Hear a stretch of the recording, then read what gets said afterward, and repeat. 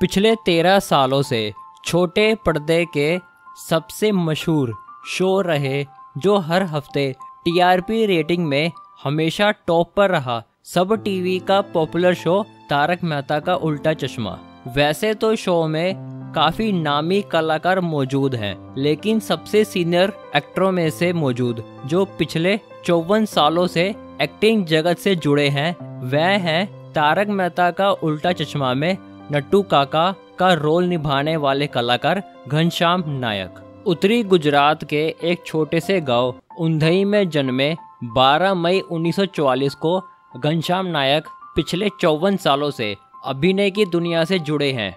घनश्याम नायक को एक्टिंग विरासत में मिली है। उनका पूरा परिवार गुजराती लोक नाटक हवाई से जुड़ा है। हवाई वैसा ही रंगमंच से जुड़े लोक नाटक है जिन्हें महाराष्ट्र में तमाशा और उत्तर प्रदेश में नोटंकी कहा जाता है, जिसमें कलाकार को संवाद करने के साथ साथ कई अलग अलग शैलियों में गाना भी पड़ता है। घनश्याम जी का पूरा जीवन काल संघर्षों से ही भरा था। तारक मेहता शो का हिस्सा रहने से पहले वह कई गुजराती और हिंदी फ़िल्मों में भी नज़र आ चुके थे। साल 1956 में अपने पूरे परिवार के साथ मुंबई शिफ्ट हो जाने के बाद मुंबई के ही एक स्कूल सेठ एनल से अपनी शुरुआती पढ़ाई पूरी करी और महज सिर्फ़ 16 साल की उम्र से ही बाल कलाकार के रूप में वह साल 1960 में आई हिंदी फ़िल्म मासूम का हिस्सा रहे, जिसके बाद अपनी पढ़ाई को आगे जारी रखते हुए वह बाल कलाकार के तौर पर और कई हिंदी फ़िल्मों में भी नज़र आए, जैसे कि सीता, राम, राधे श्याम और बालक ध्रुव।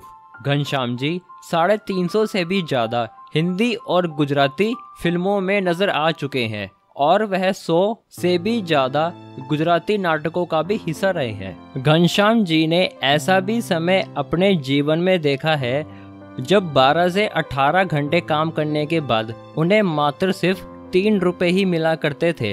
अपने पूरे करियर में घनश्याम जी ने इतना स्ट्रगल करा है कि अपने घर का रेंट देने के लिए भी उनके पास पैसे नहीं हुआ करते थे। उन्हें अपने दोस्तों से पैसे मांगने पड़ते थे ताकि वह अपने घर का किराया दे सके।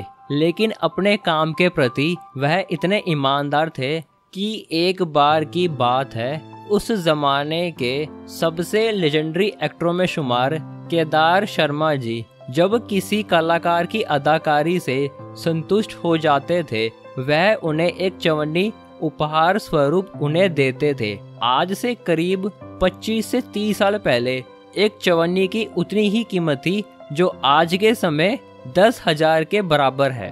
जब एक बार घनश्याम जी को एक मूवी का सीन शूट करने के लिए कहा गया, तब बिना ग्लिसरीन लगाए उन्होंने इतना शानदार अभिनय किया जो केदार शर्मा जी को इतना भा गया कि परिणाम स्वरूप जब केदार शर्मा जी ने चवन्नी देने के लिए अपनी जेब में हाथ बढ़ाया, तब उनके पास जो भी चवन्नी थी, वह सब खत्म हो चुकी थी। तब केदार शर्मा जी ने उन्हें दो रुपए का नोट दिया, जिसे घनश्याम जी ने अपने पास आज भी संभाल कर रखा है। तारक मेहता का उल्टा चश्मा। का हिस्सा बनने से पहले वह और भी कई धारावाहिकों का भी हिस्सा रहे, जैसे कि फिलिप्स टॉप टेन, खिचड़ी, एक महल सपनों का, दिल मिल गए और सारथी। लेकिन उनके जीवन का संघर्ष तब जाकर पूरा हुआ, जब वह तारक मेहता शो से जुड़े। तारक मेहता के प्रोड्यूसर रहे आसित मोदी के साथ, घनश्याम जी पहले भी काम कर चुके हैं धारावाहिक सारथी में। जब तारक मेहता की कास्ट के लिए नट्टू काका के किरदार की तलाश हो रही थी, तब लेजेंडरी एक्टर दिलीप जोशी ने घनश्याम जी का नाम आसिद मोदी को बताया था। शो में जेठालाल की दुकान के मैनेजर का नाम नट्टू काका घनश्याम जी के द्वारा ही रखा गया था। और अपने गाँव उंधई का नाम भी नट्टू काका के नाम में इस्तेमाल करने का विचार भी खुद घनश्याम जी का ही था। घनश्याम जी साढ़े तीन सौ से भी ज़्यादा हिंदी और गुजराती फ़िल्मों में अपने अभिनय के दम पर नज़र आ चुके हैं, जिसमें कुछ हिंदी फ़िल्मों के नाम हैं, जैसे कि तिरंगा, घातक, इश्क, खाकी तेरे नाम, और हम दिल दे चुके सनम में। लेकिन अब घनश्याम जी का विचार है, वह किसी भी और दूसरे प्रोजेक्ट का हिस्सा नहीं बनना चाहते। वह तारक मेहता शो से ही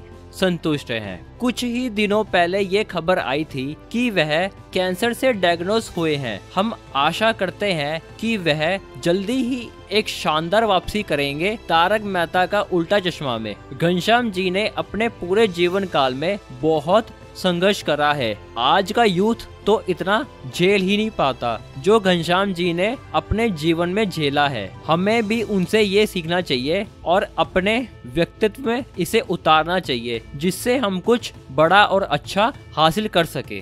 That's all in this video thanks for watching please video को लाइक एंड शेयर ज़रूर करिएगा।